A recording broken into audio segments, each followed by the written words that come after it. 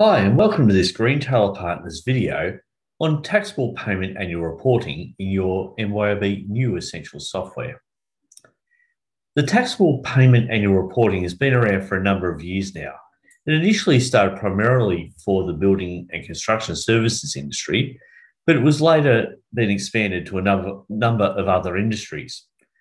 The industries now include the building and construction services, cleaning services, courier and road freight services, information technology services, and security investigation or surveillance services. Those entities that are required to report are required by the 28th of August each year to have reported all subcontractors or contractors they have utilised throughout the year. The aim of this video is not to help you assess whether you're required to be registered, more so how to actually utilize the software to, reg- to do your annual reporting. Now, in the case of MYOB, the reporting is actually done throughout the year. Every time you do a spend money or a purchase entry, there is a tick box to mark to say that this entry is re- reportable entry. This commonly can be done by when you set up your contacts. So if you've got your contacts, such as I've got Jacob Smith here, there's a tick box to say that they are to be reported with payments to the ATO. Now, by doing that, every time we do a spend money entry or a purchase and we choose that person, it will default the tick to report them to ATO via TPAR. Now, in the case of a one off entry to Jacob, say, such as we bought materials or hired equipment from him rather than labour, we could simply untick that if it's not required to be reported to the end of the year. So just going back to our dashboard. So normally to do the reporting, we simply go to reports. So reporting and reports, taxable payment annual report. We ensure we've got the correct financial year up the top here. And it, the software will show us all those pe- people of which we've had entries recorded throughout the year. It is ideal then to review each of the entries under each of the employees, or I should say subcontractors. So Jacob has three entries.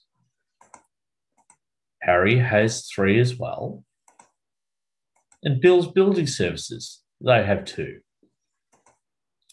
Now, another good option is to ensure that you haven't missed anyone.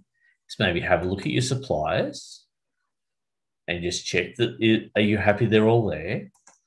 Alternatively, you could actually go and do a report such as a profit and loss.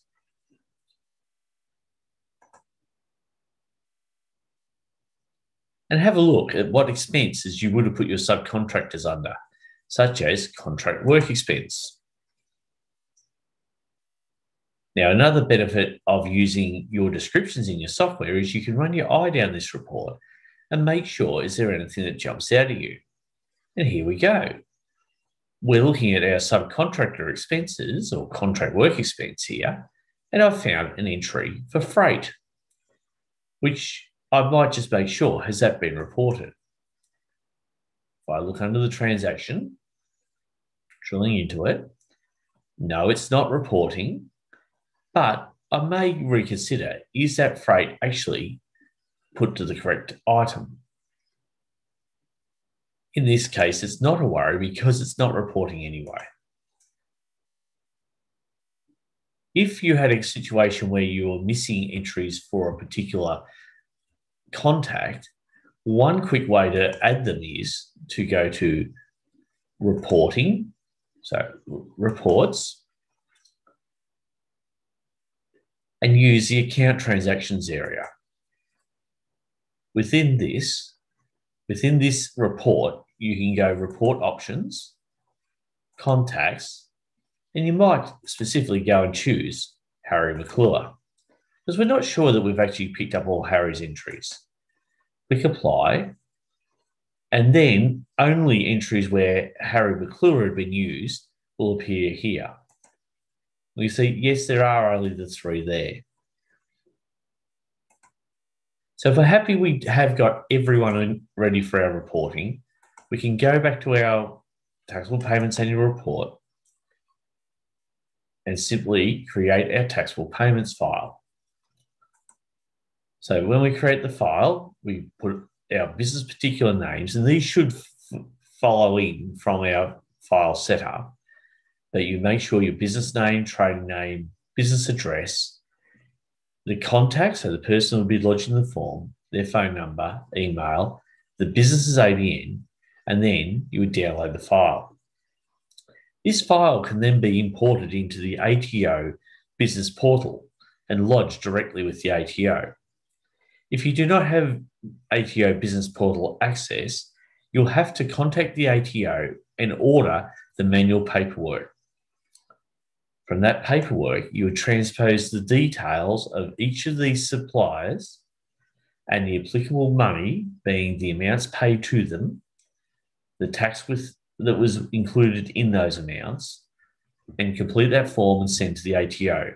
Again, this must all be completed by the 28th of August. We trust this video has been of assistance in you reporting your taxable payment annual reporting with your MYOB essentials. We hope you've enjoyed it. Thank you for watching.